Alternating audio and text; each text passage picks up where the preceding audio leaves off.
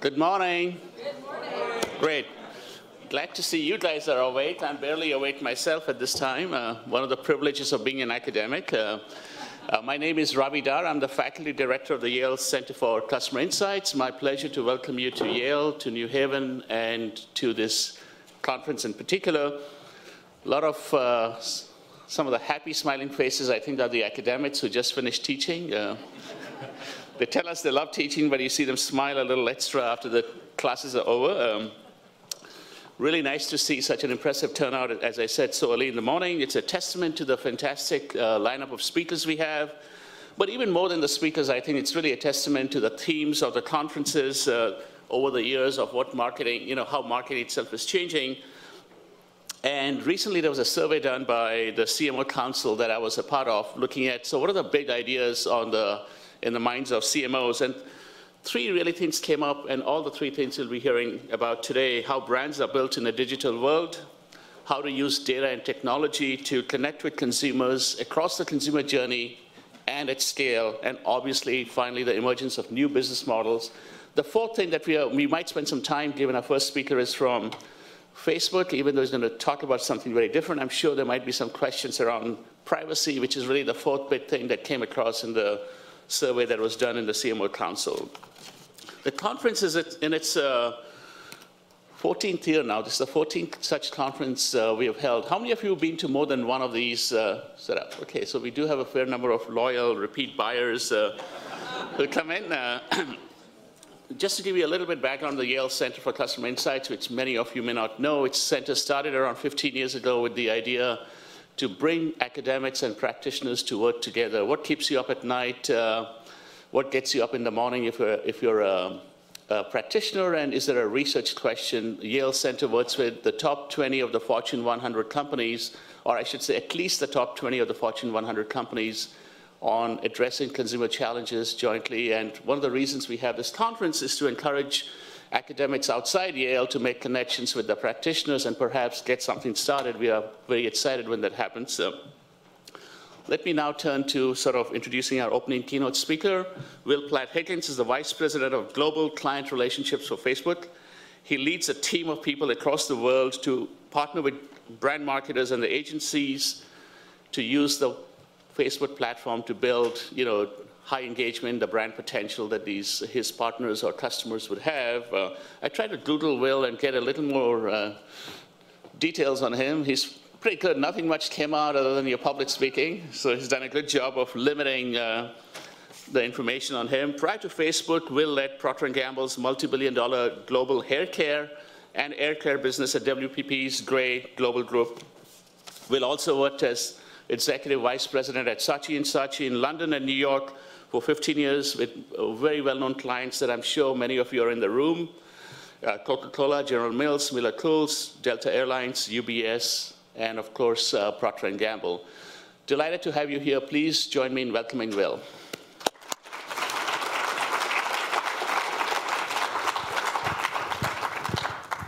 Thank you, Ravi.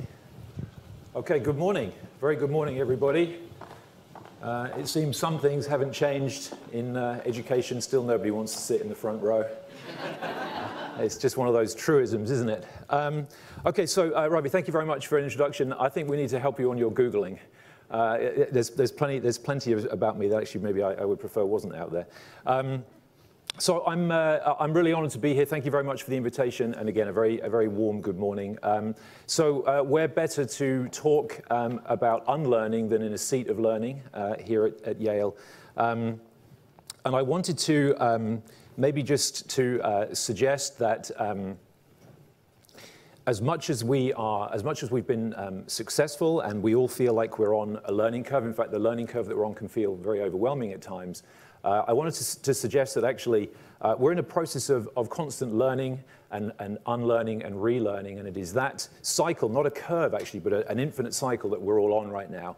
And I, I wanted to also suggest that some of the things that we've learned that have allowed us to become so successful are actually some of the things that are in many ways holding us holding us back. And uh, I, I love, I'm a big fan of Clay Christensen. Am I allowed to say that here at Yale? I think good. Uh, a big fan of Clay Christensen, um, and this is a, a, piece from the Innovator's Dilemma, uh, where Clay says, managers played the game the way it was supposed to be played. Managers were, were, had learnt the rules and were following the rules. The very decision making and resource allocation processes that are key uh, to the success of established companies are in fact the very processes that reject the disruptive technologies. And I think another way to think about this is all of the things that we learn that allow us to be successful, that we codify in large organizations, are, are sometimes the very things that prevent us unlearning and relearning new things. Uh, and maybe said more succinctly, uh, sometimes it is our very success um, that can be the problem holding us back. So, we are, after all, at an Insights conference. Uh, so what I have done, um, which is uh, following the brief, Ravi, you'll be pleased to hear, is um, I've tried to um, put together five insights that hopefully will be, will be insightful for you um, around how um, specifically the mobile phone is disrupting um, businesses uh, and, uh, and ways to think about how we can start uh, understanding this, learning this, maybe unlearning some of the things that we know and embracing some of these opportunities. So uh, the first insight is going to be around your competitive set and the fact that your competitors may in fact not look anything like you. Uh, the second is around exploration outside our orbit. I, would be interested to um, hazard a guess at what the average age is in here. By the look of this handsome audience, I'd say maybe, what would you say, about 25, something like that? yeah. Uh, thank you for laughing at that. Um, so, I'm going to talk a little bit about exploring outside our orbit. Um, I also want to talk a little bit about mobile storytelling and some of the opportunities there, but also some of the, um, some of the challenges there. Uh, the, the, the, clue in number four is with the, is with the, the line through there. The, the change I think that, that mobile has brought to shopping overall, and then uh, the message that I think we, um, that we all should start really understanding and embracing the message from messaging. So those are the, those are the five areas I wanted to, to get into. Um, and uh, at the end of this, I'm going to open it up for any questions if you, if you guys have any. Maybe from, I'll start with the front row. Uh, so I'm just going to, just going to, because they they will be the easier ones, I think. Um, all right. Okay. So let's, let's start with the first, uh, the first insight, which is that your competitor may, may not look uh, anything like you. And um, I'll begin with some of the well-worn, uh, in many ways, cliched examples of how software has been disrupting the world. Of course, this is Marc Andreessen's philosophy for a long time now, where um, uh, software has disrupted the hotel industry vis-a-vis -vis, um, Airbnb. We've had the music industry disrupted by, uh, by software, originally, of course, by Napster. Um, we've had um, all kinds of industries being disrupted by software, and the advent, of course, of e-commerce being an incredibly uh, disruptive transition for retail. Disruptive transition and, of course, a massive opportunity as well. And I wanted just to linger on this because um, this is, you know, Sears been around uh, a long time, more than 100 years ago. And I, I would maybe submit to the, the, audience gathered here today that Sears, Sears was the everything store. Uh, Sears was the A to Z of commerce. Um, the Sears shopping guide really, really truly was uh, the Bible of commerce, very well trusted and relied upon. Uh, Sears would, would ship you anything they were in the delivery business. In fact, they would, if you wanted to, uh, ladies and gentlemen, Sears would deliver you a horse. Um, so, you know, back then when that was a, definitely a job to be done. So what actually, um, what actually was happening there that prevented Sears from, from evolving to uh, to enjoy the, uh, the advent of successes that some of the e-tailers are having. And again, I would suggest that perhaps some of the things that were working for Sears were the very things that were, were actually holding them back. Now, these are the well-worn um, examples. Everybody's familiar with them. You probably have a lot of these applications on your phones, and you're using them on a regular basis. But what about some of the other examples? Um, Facebook and Instagram um, have about 7 million businesses on the platform that are building their businesses. And I wanted to share, share an example here. This is uh, a business started by a young lady called um, Inspiralized. It's fairly self-explanatory what it is. You can spiralize your vegetables, ladies and gentlemen. I'm sure many of you do this. Uh, I haven't got one yet. And um, what, what, I've, what I've got here is, uh, is just an example of how um, she showed us how she built her business, which is actually just um, creating ads using, in this case, it's the Boomerang application, but creating ads on her phone in her own apartment, uh, and then iterating. So trying, trying lots of, see if this builds here for me, trying lots of different examples uh, of how to do that and how to bring this, this benefit to life on a mobile phone and seeing how effective it is. And in a year, this lady was able to build a business uh, with $1.5 million in sales. And four years later, it's appreciably bigger. They have now distribution in Crate and Barrel. They're on the Home Shopping Network, and it's really doing quite well. And this is one of multi-millions uh, of examples that we have of, of, I think, where if you're looking for competitors, they might not be in the place that you expect, you expect to find them, and that actually anybody now, anybody with a smartphone, a decent, a decent connection, and a great idea can become a disruptor, can be a competitor to your business. So um, we think a lot about this uh, at Facebook. And the lens through which we think about this um, is what we, what we, what we call uh, magnitude and momentum. Now, what do I mean by magnitude and momentum? Okay, so uh, I'm sure on Monday mornings, many of you start your weeks looking at what's happening, right? How's our business doing? How are we doing vis-a-vis our competitors? And we're no different than that. And here's a chart here, carefully blinded out, all axes blinded out so that you can't see exactly what's going on. But here's a chart where we look at the competitive set. And what happens when you look at a chart with a competitive set uh, is that you automatically look for the lines going up to the right and the larger players. And these are indeed competitors of magnitude. And these are the competitors that you would expect us to be looking at. So these might be um, WeChat, and these might be Line, and these might be Kakao, and Snap, and YouTube, and so on and so forth. And you could say, okay, these are the, these are the, the, the higher lines, the, line, the lines operating at larger volumes. Um, but we spend equal, if not more time, thinking about the competitors that are harder to discern at the bottom and really only become discernible when you magnify them. And these are the competitors of momentum. These are the competitors that are growing rapidly, maybe 100, 1,000% month over month growth off a very small base. And it's this kind of um, sort of peripheral vision that allows us to see trends, things that are happening in the marketplace, apps that are, that are doing very well. This might be a, a small uh, application, college application in Norway. This might be uh, a year or so ago, this might be Prisma. In 2010, 2011, this would have been Instagram popping up here. Um, right now, although it's already come to scale, this would allow you maybe a couple of years ago to look at things like Musical.ly and TikTok and so on. So we, I've been with the company about seven and a half, nearly eight years now, um, and we're only a 15-year-old company.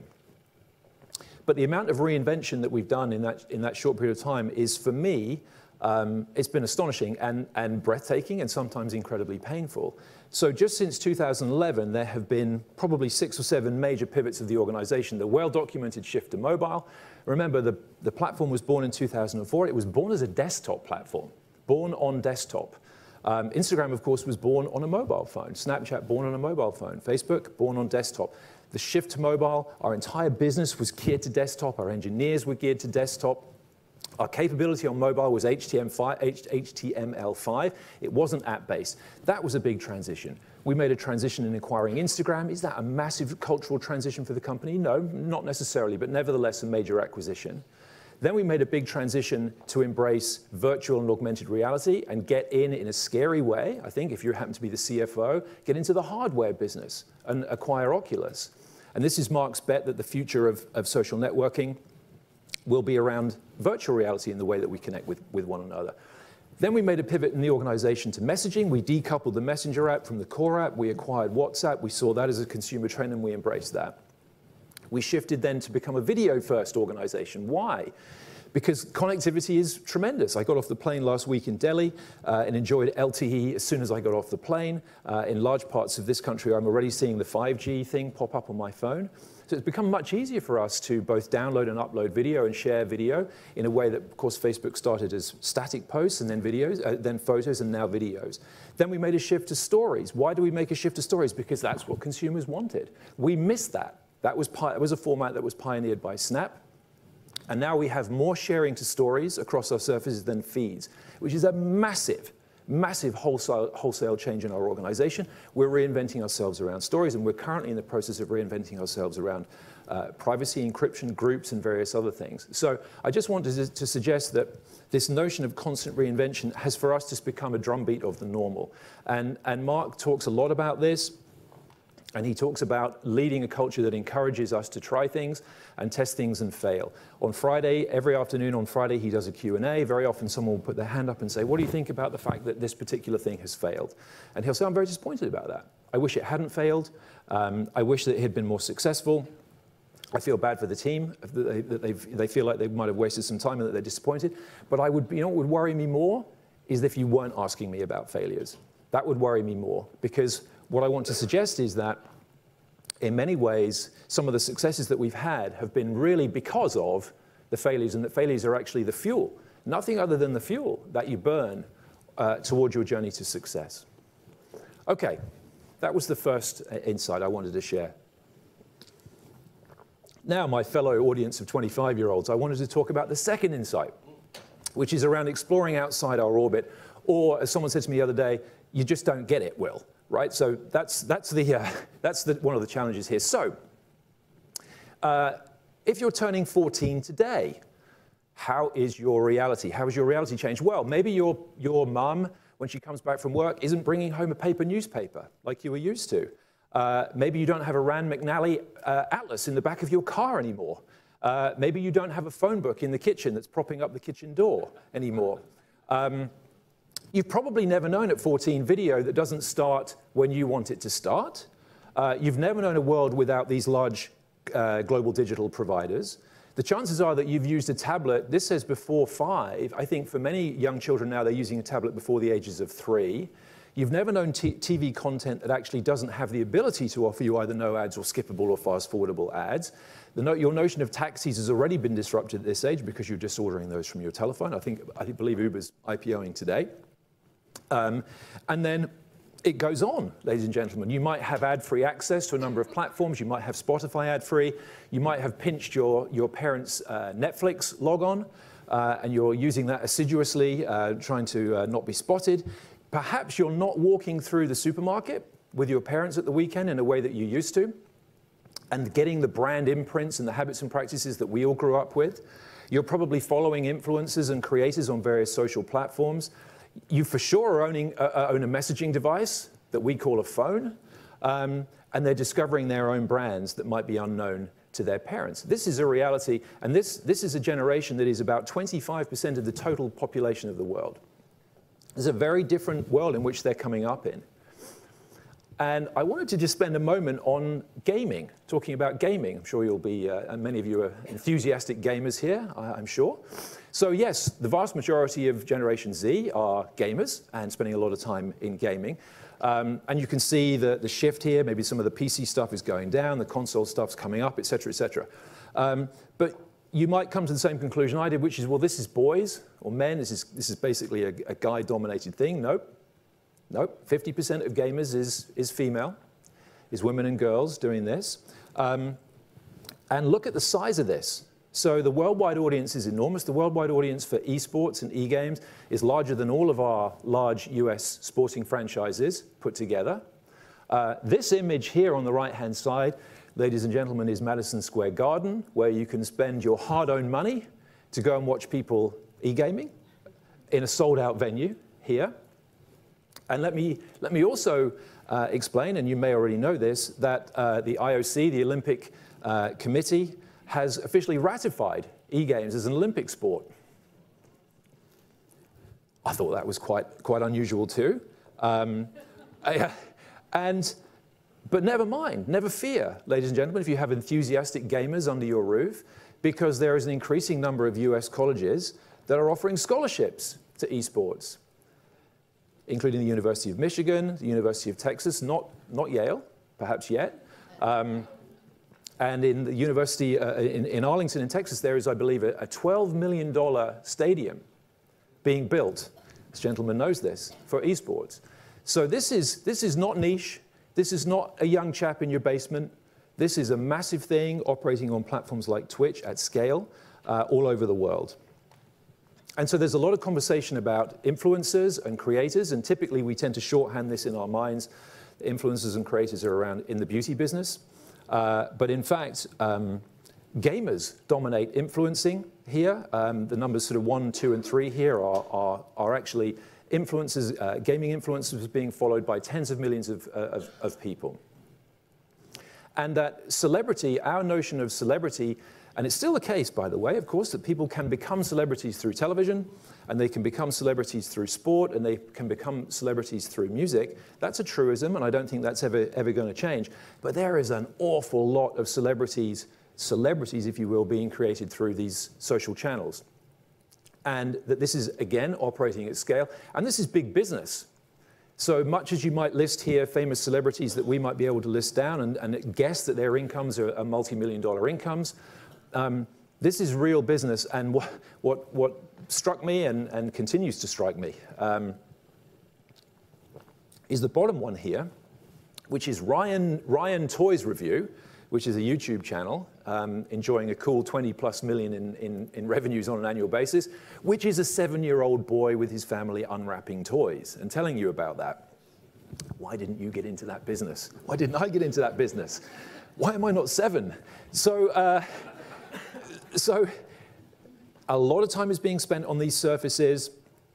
Uh, a huge amount of video is being created and, and consumed on these surfaces. We know, we know all of this. And I think one of the, one of the provocations when, when people say to me, you just, you just don't get it, which is, and I would admit, I just don't get it. One of the provocations is that as marketers and advertisers, one of the great things about what we do, what we do is we create things.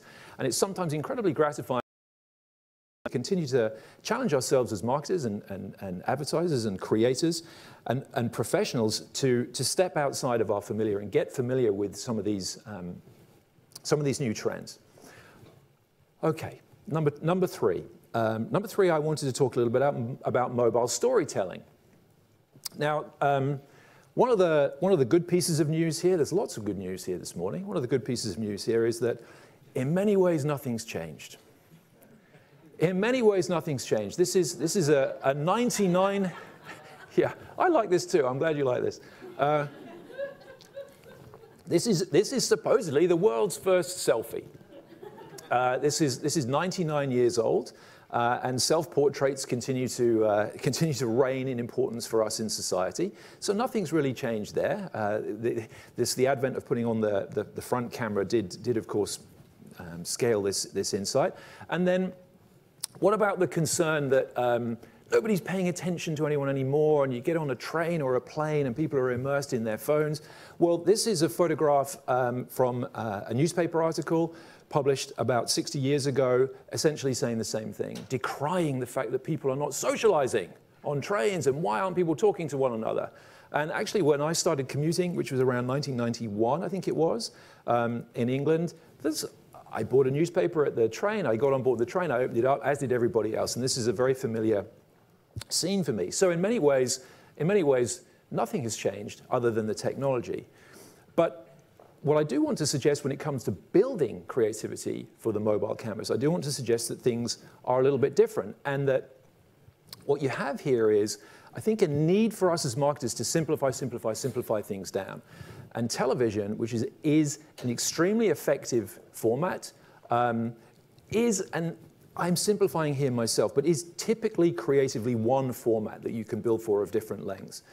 And that mobile is a, is a series of multiple formats and that we need to understand this and we need to embrace this. So what, what do I mean by that? Well, growing up watching film, movies and so on, the aspect ratio, nothing better than coming to theater and seeing a big wide screen. And the aspect ratio is stretched and horizontal and works really well and immerses us on that. But storytelling on mobile has become vertical.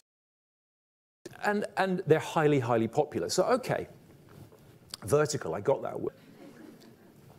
So, okay, got it. Vertical video, it's trending. It's, it's, it certainly seems uh, very popular. So, it's that simple, right? Well, Think about it. You get on an airplane, you get on a bus, people come on with their phones oriented like this, they're tapping away, they're doing whatever they need to do, and then they sit down. And when they sit down, they flip it, and it becomes horizontal.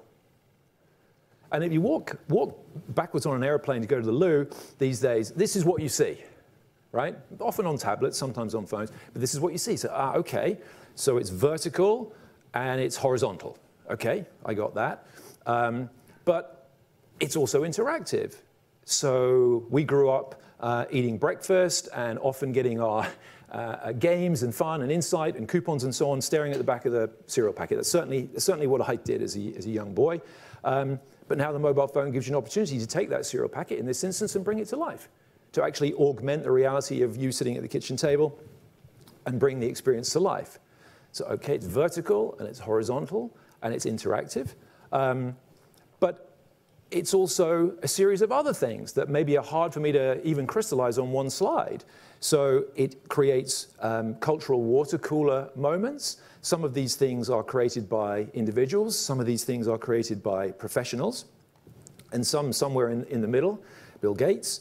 Uh, and you have things like um, Lady Gaga, which is the most watched, um, Lady, Lady Gaga's Super Bowl halftime, which is the most watched um, event of, of, any one time. And so how do you classify these? Some are vertical, some are horizontal, some are consumer created, some are professionally created, and so on. Uh, the ecosystem of the mobile um, is, a, is a complicated thing based on the job to be done that the consumer is, is, is using uh, the, the mobile for. And so while, while it might be unfair to characterize the creative assets of television as one thing, it might, it might be unfair to do that. I certainly would suggest that building creativity for mobile isn't one thing, it's a series of things. And we sometimes see, we often see a desire to simplify it down. It's, I just want one thing for my toolkit. It isn't one thing. And I would encourage us to embrace the complexity. Okay, um, the fourth insight uh, that I wanted to share with you is around shopping. And as I said, the clue here is in the title. We're just shoppers. And the artificial construct, I think, of on and offline, the mobile phone has, has uh, dissipated, and it's something that, again, I think I encourage us to kind of unlearn in a way. So you could argue that we've, we've gone from this notion of, oh, I'm physically going shopping, would you like to go shopping with me this Saturday, I'm going shopping, to actually, I'm just always shopping. Now, I know none of us like to be characterized as always shopping, but in truth, when you think about your behavior, you probably are, always are in a shopping mindset. And so why, why has this happened? Well, you know, it's perfectly natural and perfectly logical. You have uh, the digital channels growing up after the traditional channels, and we built separate teams and we kept them on one side. And I love, I love this title. It's the official marketing department is off on the right-hand side. In the red, you're the official guys. You make TV stuff and really important things like that. And over here, you're the separate marketing department. And increasingly, of course, what we're seeing is these things coming together. But that's what's happened here, and this is why uh, you have these separate divisions of, I'm in the shopper team, okay, that's good, and I'm in the consumer team, okay? Are those in any way related? Let's not get into that. We're in separate teams. And so we've been thinking about this through, through the lens of separate channels. And, and I want to, to suggest that really mobile is the new shopping, mobile is the new window shopping, but it's also purchasing in one screen. So to give an example here, if I'm in Sephora, um, you know, I have an opportunity when I'm in Sephora to walk around. I can discover brands, I can explore, I can engage, and of course I can, I can purchase, I can buy. I can also do that now through my mobile device. You can see here, I can discover, I can explore, I can engage, and I can have um, a, a, very good, simple, hardworking print ad enabled through, uh, through the mobile device and technology where machine learning can actually take that, that benefit, it can serve it to a cohort audience of people who are most receptive to it, allow them to interact with it, choose through SARS and convert in, in, in all in one action. And then similarly here, through augmented reality, you can take a hard-working piece of out-of-home, simple piece of out-of-home, and you can enhance that and you can say, okay, those sunglasses look, look pretty good. Let me augment my reality by trying them on. Let me try them on. Let me try them on different colors. Let me take a screenshot of that. Let me WhatsApp that to a friend of mine and see what, what I should, what they think about it. And then I can convert and I can buy. And then similarly, I, this one always interests me because um, you know, buying furniture on the internet feels like quite a hard thing to do. But actually, again, through technology, it's become, some of those barriers have become broken down and it's become a little bit easier for us to do that because I can just simply use my phone to scan my room. And then I can drop down the product that I'm looking at into my room and orient it. Play around, by the way, if you, if you can, or maybe, you maybe have with the IKEA one. It's actually pretty good. It's actually pretty good. So you're able to use technology to enhance that experience and, di and, and dissipate some of the friction. So, uh, you know, it's a super powerful kind of workhorse mobile in terms of operating as one channel and able to do and tick a lot of these, a lot of these boxes here and, uh, and accomplish a lot of the jobs to be done that we as marketers and advertisers have. So my, my, my insight here is that just because I walk into a store, that makes me a shopper in the traditional construct. But as soon as I walk out of the store, I'm not a shopper anymore, I'm a consumer. And I think that the mobile phone has collapsed that, such that the shopper is a consumer and the consumer is a shopper. Okay, I think I'm doing okay on time here. the last insight that I wanted to offer for you. This is around messaging. So we know that we know that messaging is growing. Blah blah blah. Will yes, lots of people using messaging apps, and, and actually, uh, the volume of messaging that we're doing now as a population is now orders of magnitude larger than peak SMS. We grew up with text messaging, love text messaging, still love te text messaging, but the volume of message messages being sent is enormous. And for the vast majority of the world who skipped the desktop and the, and the laptop, they've of course gone straight to mobile. And for them, the most popular use case on the phone is the messaging application. So, okay, great, interesting. I sort of knew that anyway.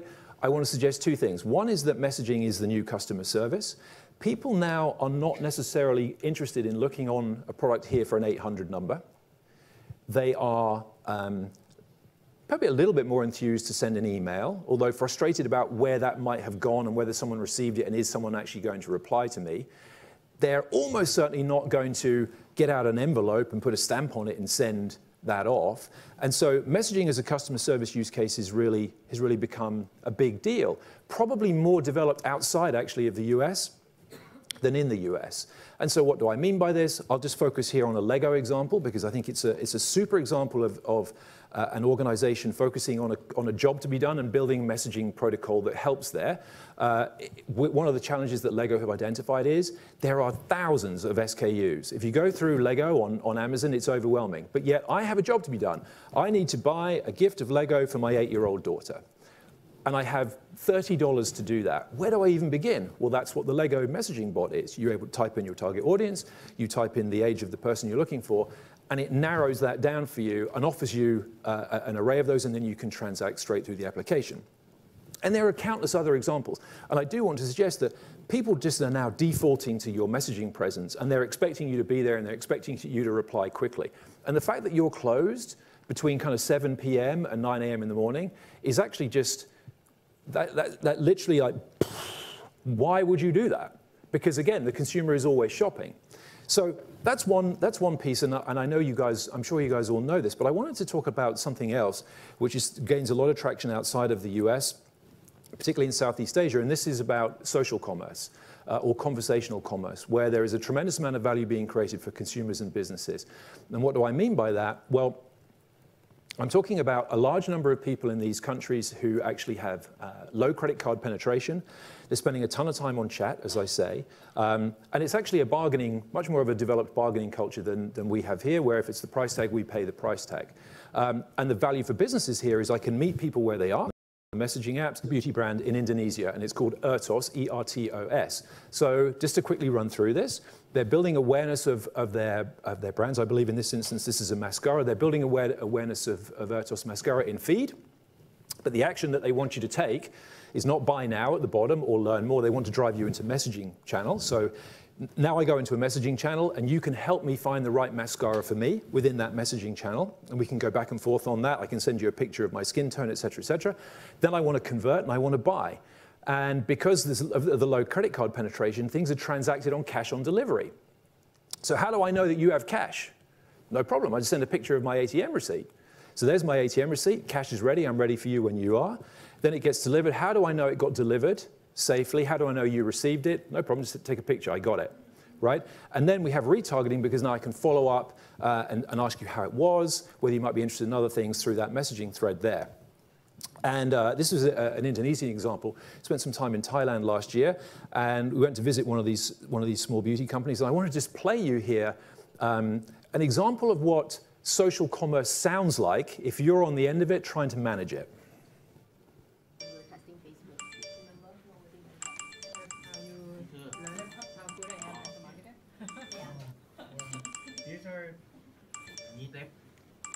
So how do you manage that? Well, you just build a different call center, a rearticulated call center. So this is, this is the HQ, this is the nerve center of the operation. You have about 15 or 16 uh, people here whose job it is, and I will tell you, a very successful, well compensated job is to manage these inquiries on social commerce about whether or not things are the right size, whether or not they're in the right color, did you get it, cash on delivery, and all the rest of it. And that's, and that's, what's, uh, that's what's happening in social commerce, and I think is going to start to become um, a much more prevalent use case for us as in, in business uh, around the world.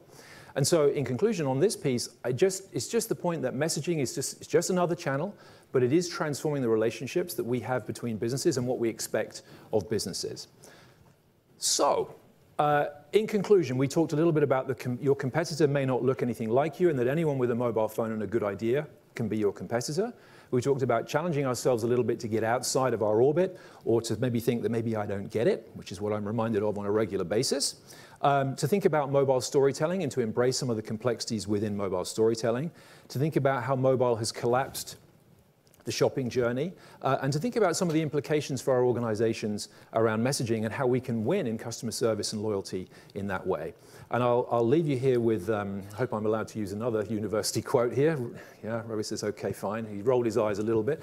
Um, love challenges, be intrigued by mistakes, uh, enjoy effort, and keep on learning. Keep on learning and challenging ourselves because I think the, the future will continue to belong to the curious. So thank you very much, guys. And I want to turn it to questions.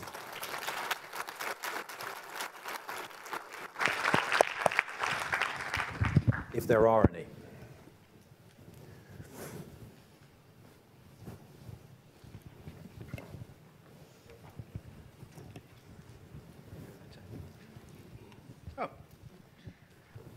So, loved your talk. Thank you. And I'm as close to the front row as I could possibly yeah, get. Yeah, no, I appreciate that. You should get extra points for that. I also appreciate that we're all 25 here.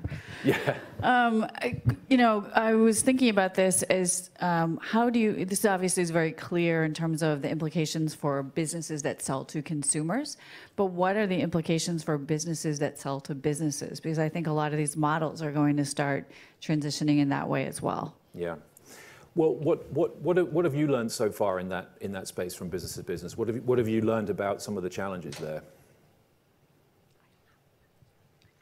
obviously the world is much more electronic than it ever was. And obviously the website is your, your salesperson in a way that it. Obviously, the world is more electronic than, than ever before. In the 16 years I've been in business, you know, we've watched our website become something that was kind of like a placeholder to something that can really drive traffic and, and so on and so forth. But the reality is, as a, as a professional services business, you know, we get a lot of queries still coming in, you know, by email and by phone, which are the traditional modes of communication. Yeah. Um, yeah. So. Yeah, I mean, I think it's a gr- I think it's a great question. I think I what I would say is that maybe maybe the parallel I would draw is that I talked a little bit about the artificial delineation between the shopper and the buyer. And I wonder whether we have the same construct here, which is we make an artificial construct between Will becomes a different person when he walks into his job in a B2B than he is from when he's just a B2C person. And, and actually, would a lot of people just prefer to interact with businesses just like they do with people? And I would submit the answer is yes.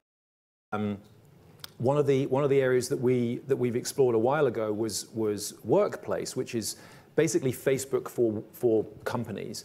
And one of the reasons that that's been relatively successful is because it simply capitalizes on the existing human behavior of, hey, I broadly know how these social networks work. They're instantaneous. They're, they're a fairly seamless way for, for me to share information. And through, from a management lens, it allows me to understand the biggest frustration I have, and this is, of course, the well-known Nestle quote, which is if only Nestle knew what Nestle knows, this might, be, this might allow us to actually get at that. So I, I, my supposition is that it should be probably no different from what us as consumers' expectations are, and that if I get in and all of a sudden I find myself printing long things out and putting them in, in envelopes, that's probably a, a behavior ripe for disruption as well. We can take one more.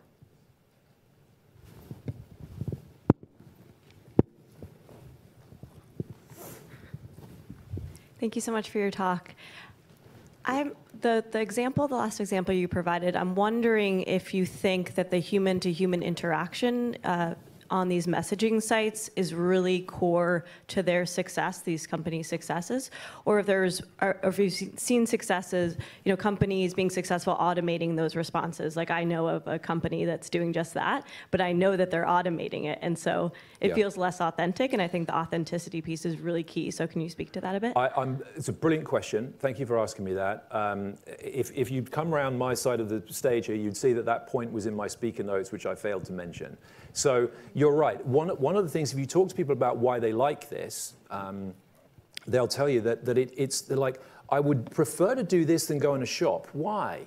Because when I go in a shop, I have to try and attract someone's attention if there's somebody there at all, and they're disrupted trying to serve other people. Whereas I actually feel I get customized, personalized attention better sitting on my phone at home than I do from walking into the store. So definitely, definitely it is the personalized, tailored, tailored service that people feel they get, which is highly attractive. Um, but it doesn't mean that there isn't a job to be done or a use case for, for machine uh, learned responses. So if I just simply want to know, hey, I love uh, Yale University's natural spring water, but I can't find it, right? Then that's something that we can automate and say it's available at the following retailers, you know, close to you. So I, I do think that there's a role for both, but I definitely think the magic in some of the, this social commerce and why it's taking off is definitely that personalized piece.